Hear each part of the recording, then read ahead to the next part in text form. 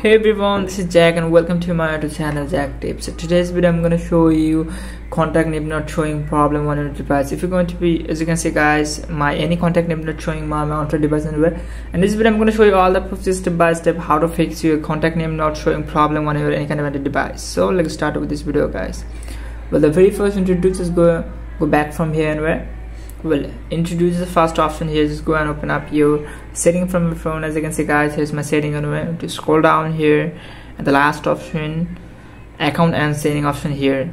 You just click this one as well. Okay now to scroll down again here anywhere and find out google option here. To tap google option from here and you need to choose your gmail account actually which one you're gonna be used right on your phone and where. You tap on contact option from here click this one as well. And also you're going to be turned on back again and you can easily sign in your any contact from your phone anyway but for sometimes you get like and also tap more option from here and go into the sign up option from here.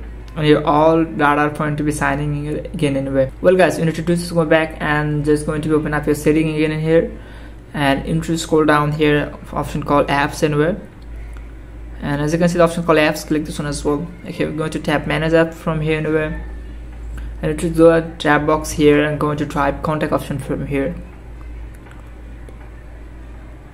Contact google contact and sign in option from here click this one as well.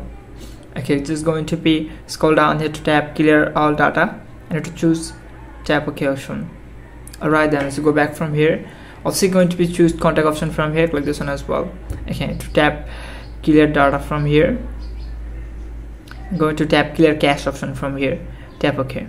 Alright you got it all right to set here. I'm going to be get back to my all things from here. Before you're going to open your dialer going to be restart your phone on time that will have the biggest possible to solve your problem. Okay but the next person two I'm going to open to my dialer option from here. As you can see guys I'm going to open to my dialer. As you can see my all data is right now to save here and everything is going to be saved to my phone anyway. So guys here's the process how to fix your contact name showing problem on your any kind of a device to your dialer anyway. If this video will be helpful for you don't forget to subscribe my channel and stay with us. Thanks for watching guys